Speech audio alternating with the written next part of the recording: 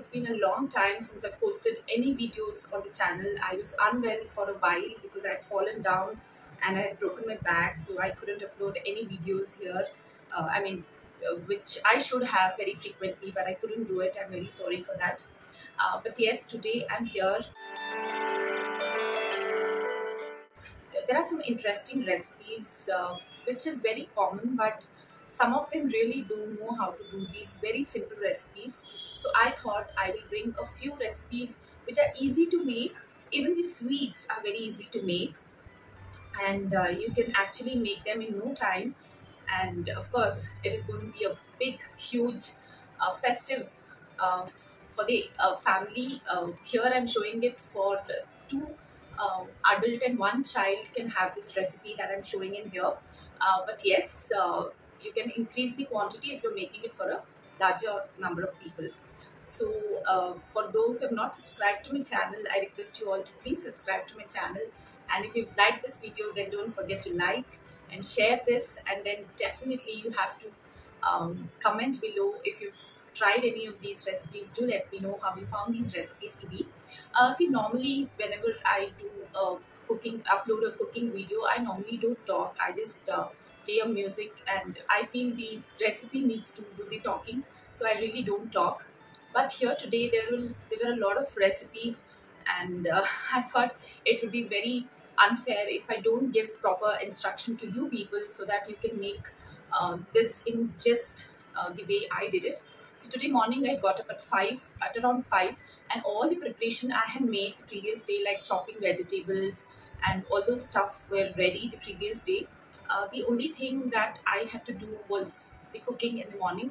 So I got up at 5 and I started uh, doing uh, the recipes and I finished it, uh, you know, since I was even recording, I finished it by around 9.30 or 10 or so. So we had the breakfast with whatever I had cooked and a little bit of that was left for the uh, afternoon. So we had the same in the afternoon with a few more additional recipes that I had also prepared. Uh, so basically, if I have to say, it would take around three to uh, four hours or three three and a half hours maximum for you to make all these recipes at one go. You know, it would take a much longer time if you've not made the preparation the previous day, especially chopping of vegetables and you know all these basic things that you know I, I'll explain as I'm doing the recipes. So please make the preparations right away so that you don't have any problems while cooking and you are calm and cook very peacefully, which is very necessary for the recipes to come out really well. So yeah, that was that was what it was. So without any more further delay, let's straight away jump into the recipes. The first recipe is going to be a starter, a palak soup that I'm showing in here. Now, uh, the measurements of all the ingredients that I'm using here will be displayed on the screen for all the recipes. So here I'm going to only explain how to make these dishes.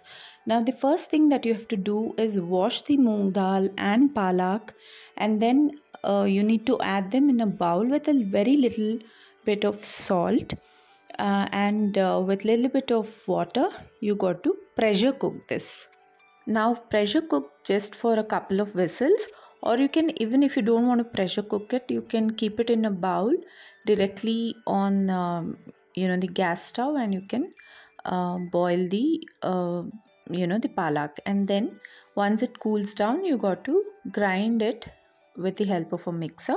And this is how the consistency need to be. It shouldn't be too thick nor too thin. And then you got to heat it and then add sugar salt and uh, black pepper with little bit of jeera powder and mix all this well together and your palak soup is all ready to serve with butter as a topping. Now butter is added to give it a silky texture and uh, you know nice aroma and taste to your soup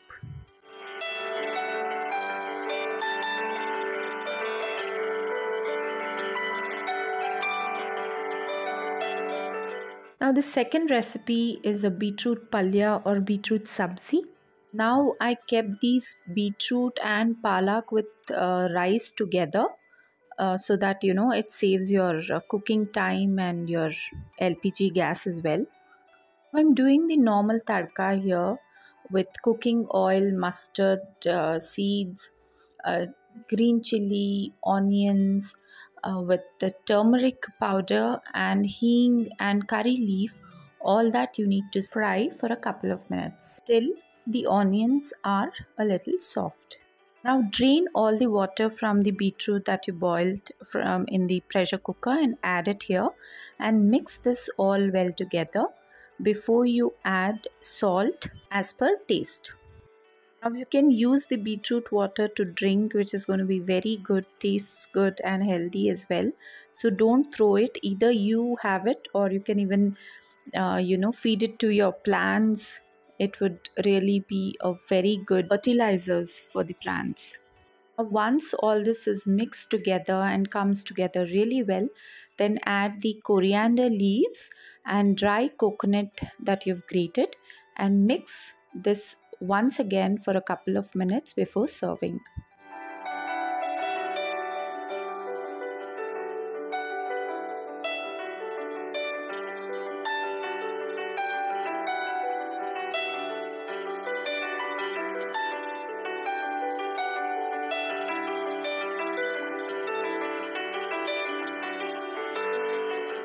Now for making the carrot rice, I've taken one cup of this regular rice, but you can also use basmati rice if you wish to. Now, if you're using basmati rice, then you should be soaking in the uh, rice for at least 20 minutes. Now, I'll be doing this recipe with cooked rice, so it's better always to have the rice cooked the previous day. It'll be very easy to make this recipe with rice that is cooked but not too hot and if you see the fog outside it's around 6:45 and it rained totally completely yesterday and this is how Bangalore is almost every day. Okay coming back to the recipe. Now I've taken a pan and added cooking oil ghee and all these spiced ingredients and I've crushed the black pepper here and I'm adding in here and a little bit of hing uh, that I'm also adding here and uh, just fry this for a couple of minutes before you add green chilies now here i'm using the uh, kitchen uh, you know scissors to um, you know chop uh, the green chilies. And then uh, i've also added these chopped onions. Now ginger and garlic paste is very optional. You can skip definitely if you do not want to add. Fry this till the onions are a little translucent and then you can add the grated carrots and mix all this well together.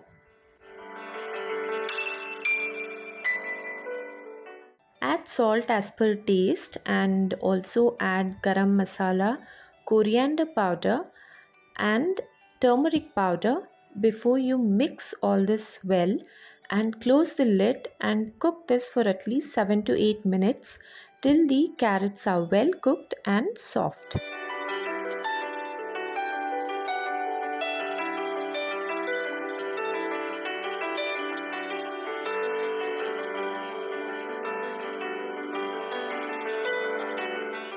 You don't have to fry the cashews uh, separately, you can add it directly uh, to this one either before uh, you know cooking the carrots or after cooking the carrots.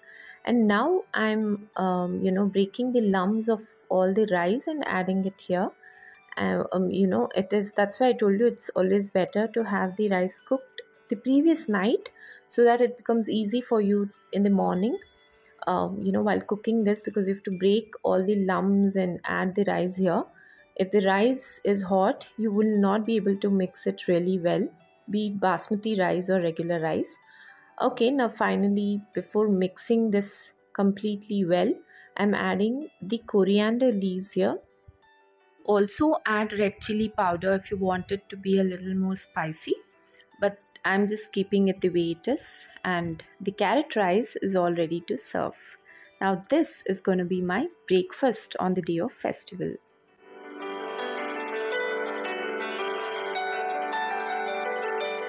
Now to make the methi chapati, I'm taking one cup of regular wheat.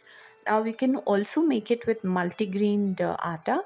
It's totally up to you whichever wheat flour that you want to use i've added salt red chili powder. Again i've taken one uh, tablespoon. You can increase or decrease depending on your spice needs. I'm adding ajwain here and then turmeric powder hing and mix all this well together.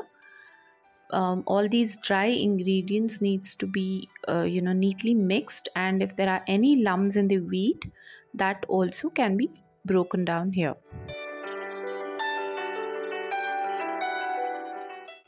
here now i'm adding the methi leaves which i've washed completely.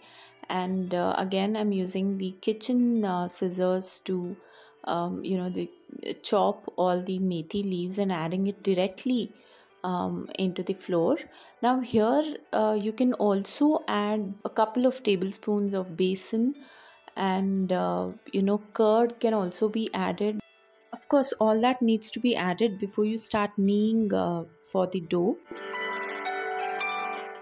Now i'm doing a very basic chapati so i'm not doing any of that in this one. But yes you can add those uh, things here in this chapati while you do this. And also an important thing while adding water don't add too much of water and make it too soft because even the uh, methi leaves would leave water once you make the dough which I'll show you later how it would become a little moist so you don't make this dough very soft you got to make it a little hard because while uh, you definitely have to rest this dough for at least uh, uh, half an hour to 40 minutes before you actually start making the chapatis. So, an important tip whenever you're adding any vegetables uh, which you know would leave water, you always have to make the dough a little tight. You shouldn't be making it very soft because you will have a difficulty in actually making the chapatis because it will start sticking to your uh, you know chapati uh, board so it will not be possible for you to make the chapatis with uh, that convenience so an important thing. Whenever you add uh, water while making a dough be very careful. And also you can use the uh, you know dough making machine uh, for making this if you're not used to making doughs. Once you mix all these ingredients you can put it in the dough making machine and uh, make it just the way you do the chapati dough.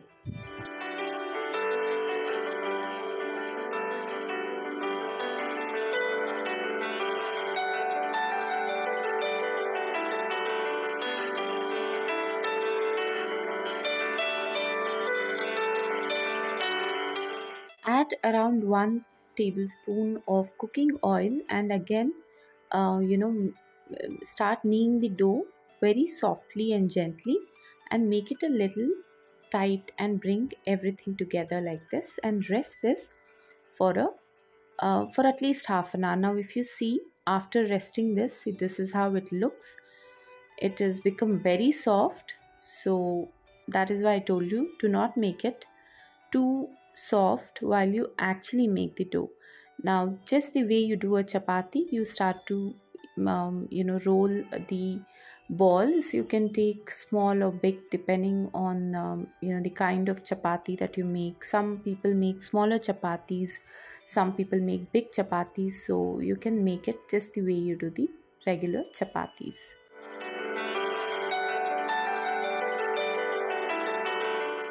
now here you don't have to make it too thick. It can be as thin as your regular chapati is. So this is all ready now. And you put it on a pan which is already hot. So you need to heat the pan before itself and it should be on a high flame. Now here i'm adding one tablespoon of ghee and uh, i'm just flipping it over. Now on the other side i'm not adding ghee but if you want to uh, you definitely can add. But uh, yeah for those who do not want to add ghee can also add cooking oil. So your methi chapati is all ready to serve. Now, this is the regular tomato rasam that I normally prepare almost every other day at home. So, for which I'm taking half a cup of uh, a tur dal. I've washed it and I've keeping it for at least 2 to 3 hours. In this chopped tomatoes, I'm adding little bit of salt and water.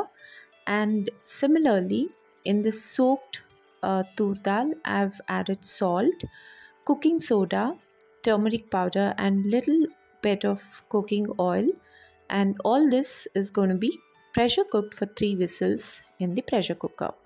This is the cooker where I prepared the uh, dal. Now is the time to make the recipe. Now in this bowl I've added uh, the cooking oil, mustard seeds and hing and curry leaf and made the basic tadka.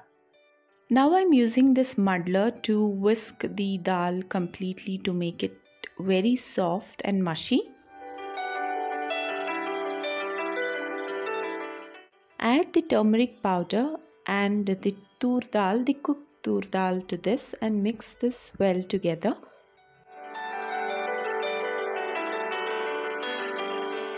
Now before grinding the tomatoes, the tomatoes that were cooked, uh, once it's completely cool you got to grind it to a nice smooth uh, juice or paste with the help of a grinder and the water the excess water I had removed so i'm just using this here and uh, you know uh, adding the remaining tur dal also. You can use either the homemade rasam powder but here i'm using this mtr rasam powder which is very easy for those who do not know how to make the rasam powder can use this.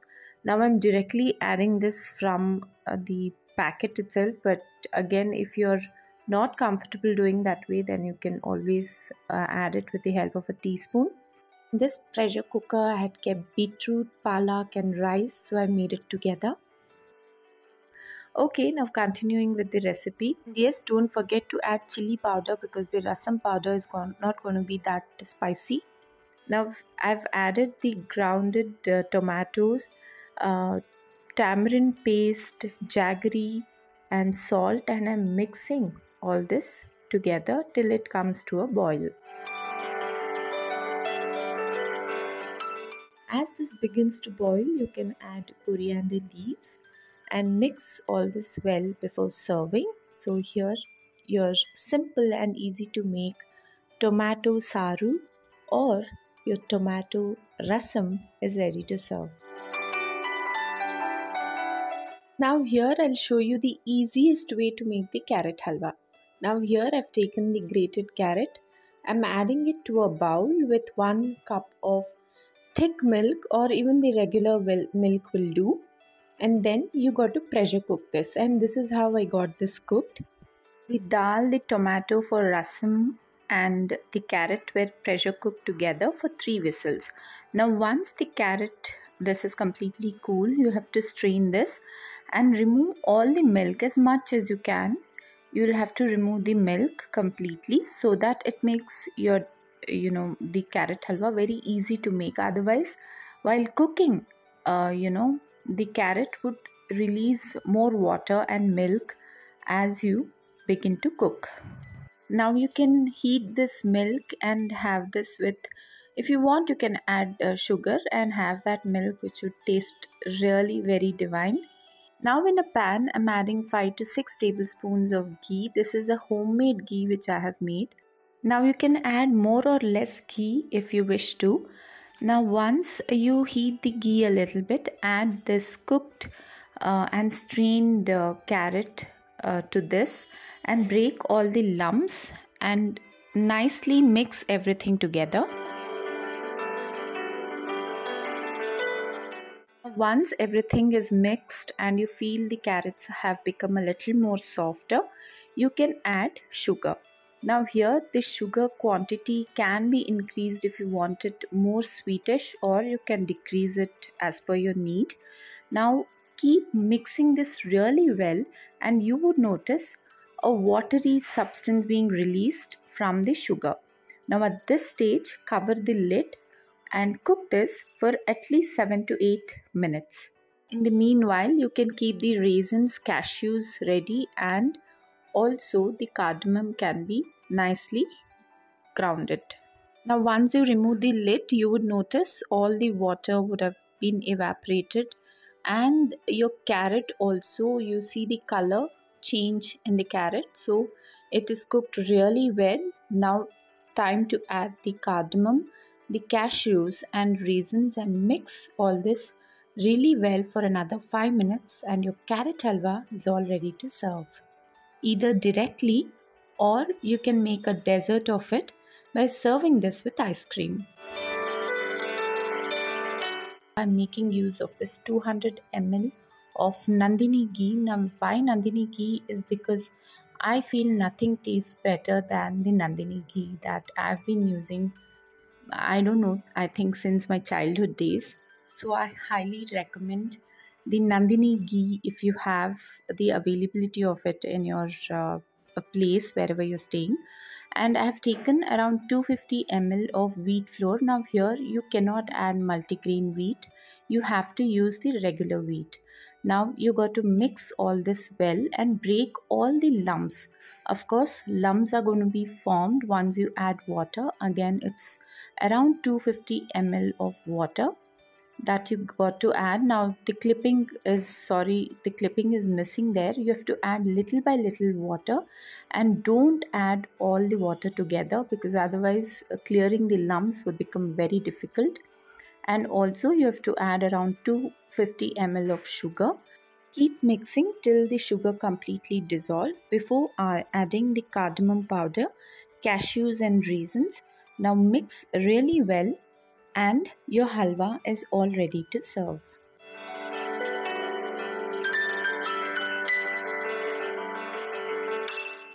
Now to make the curd rice, I have taken 1 cup of uh, cooked rice here, the regular rice and around 1 cup of curd. Add a little salt to rice and mix the curd really well. It's better to do it with hands so that you can really make the curd rice very soft and using a spatula but it's again totally up to you.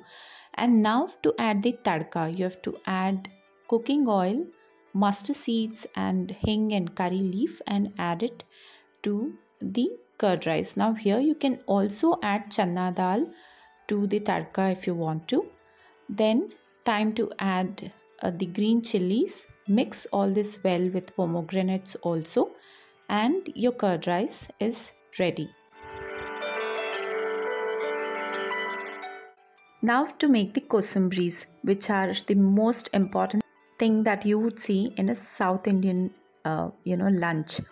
So here I'm making use of the green moong dal, which is a sprouted one. So I've taken one cup of it and I've added a little bit of salt and pomegranate. Here, you know, the ingredients can be increased or decreased based on your wish because here there is no such uh, set rule that you have to add this much of pomegranate or this much of moong dal but this is the basic that i'm showing on how i do it but yes you can do it um, as per your wish so i've added pomegranates i've added cucumbers here and a little bit of lemon juice. Now lemon juice don't add too much of lemon juice because it'll make the dish very tangy which is not necessary. And then this is a very fresh uh, grated coconut that I've added. Again you can increase the quantity of coconut uh, that you add here. And uh, I'm adding in the green chilies here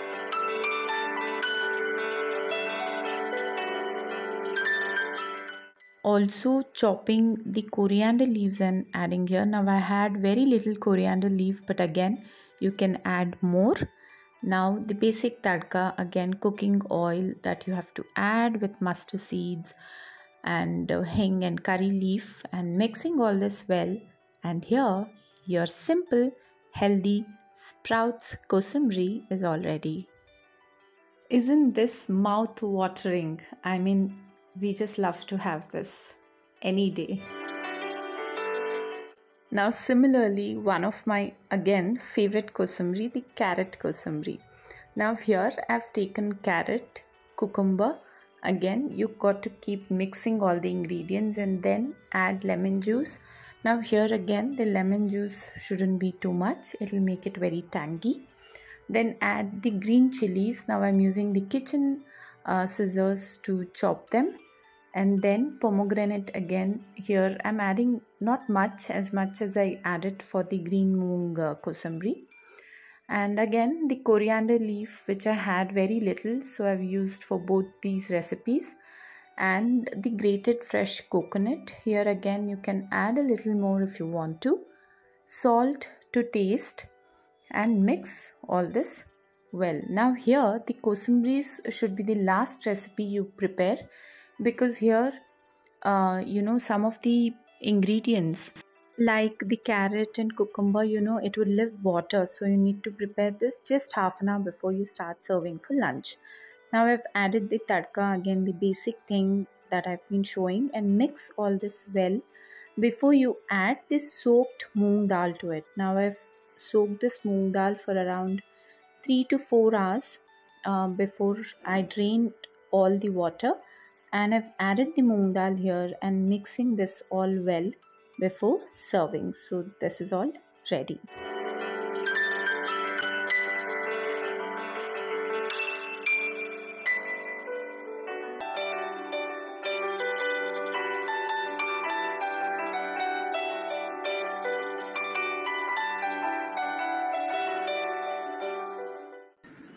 How did you find all the recipes to be? I'm sure you all have loved it.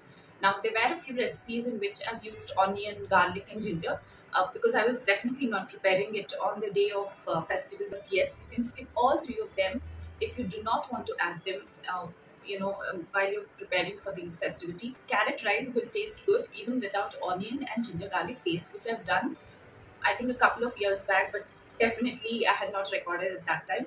So this time when I recorded, I thought, let me try adding them. And the difference is there, but very mild. So you can definitely skip adding any of them.